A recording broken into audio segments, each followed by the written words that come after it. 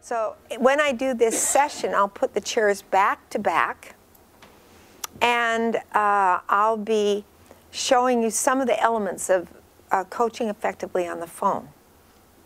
Now, first of all, let me tell you what some of them are. Uh, one is that we tend to use more placement kinds of imagery. So at the beginning of a session, we'll tell people where we are. You know, the ding-a-ling-a-ling, your client phones you. The client always phones you. Did you know that, everybody? Uh, because when the client phones you, they're taking responsibility for the session, for the results, for everything. Remember, the golden rule is the client does the work and you get paid. So in the session, they phone you, and um, you tell them a little bit where you are, what, what's going on, what you see. So it's like I'm, you know, I'm sitting here. I'm on Granville Island. It's a beautiful day in Vancouver. Uh, it's uh, one of those lovely spots on, in the world where people come for holidays. So where are you? Do you see what I'm doing? I'm giving them an image.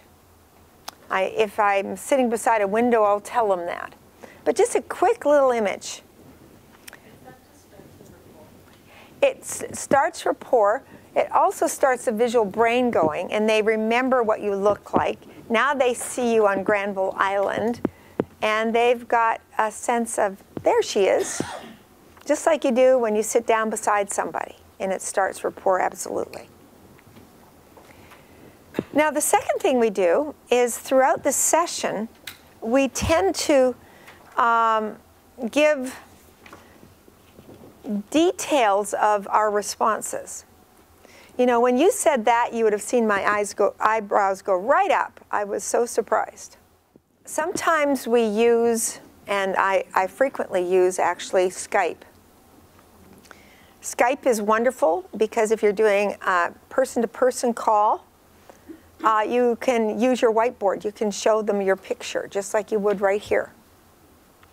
If you can't show them your picture, uh, then have them draw one of their own. And uh, that's easy. Ask them just to put a scale from 1 to 10 on the page. Ask them to uh, draw the wheel, which we'll be explaining more about later, or a logical levels form, which we're going to use this afternoon shortly.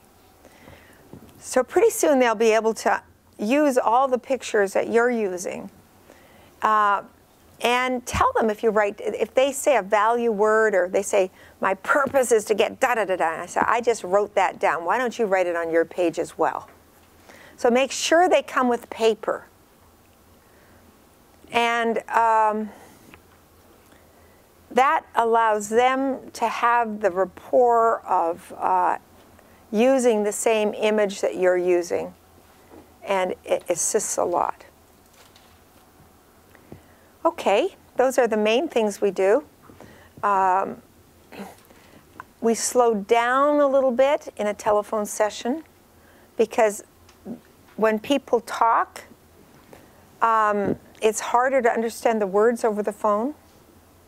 So it just makes, uh, makes it more congruent. People stay more relaxed if you slow your tonality just a bit.